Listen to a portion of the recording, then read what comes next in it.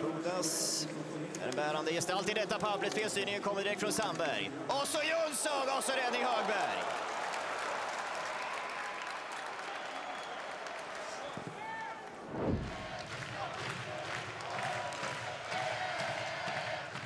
Timrå med tryck just nu. Rindell som har passning över! Och Marmelin, nu tar han den pucken när Dahlén försöker.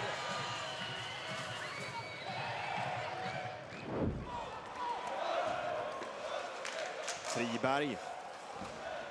Roma finns centralt. Strömvall trixar sig fram och gör nästan 1-0.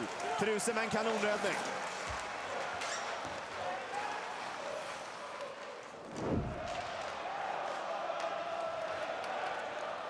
Rögle måste bara hålla emot. Går det? Mikael Lindqvist!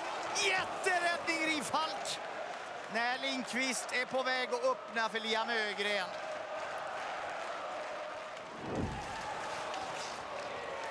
Pucken hamnar här hos Kapla.